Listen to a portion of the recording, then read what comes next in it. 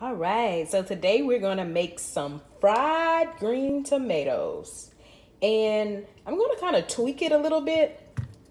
My grandmother told me to use bread, not breadcrumbs, cornmeal, but I don't have cornmeal, so I'm gonna substitute it for breadcrumbs and we're gonna see how that turns out. So let's get started. All right, so the first thing I'm to do is mix some flour and breadcrumbs into like a pan or bowl just to get it mixed up together. All right, and now I have my flour and my corn, I mean, and my uh, breadcrumbs mixed all together. Now I'm gonna slice my tomato into thin pieces. All right, now my green tomato is cut up. And now I'm just gonna simply take one at a time and coat it in my breadcrumb flour mixture.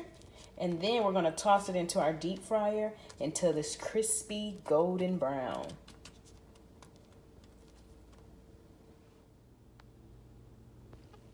All right, now we're gonna take our green tomatoes and put them in our deep fryer and fry them up.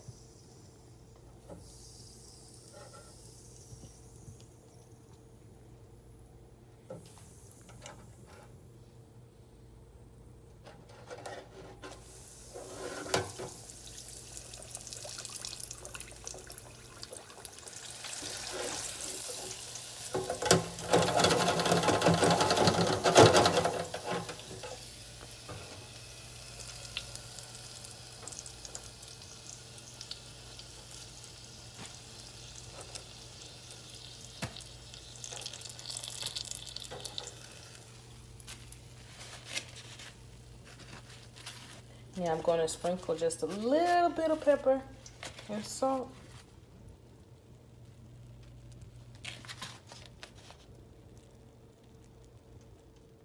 And here you have it, our fried green tomatoes. Thanks for watching. Don't forget, like, comment, share, and subscribe.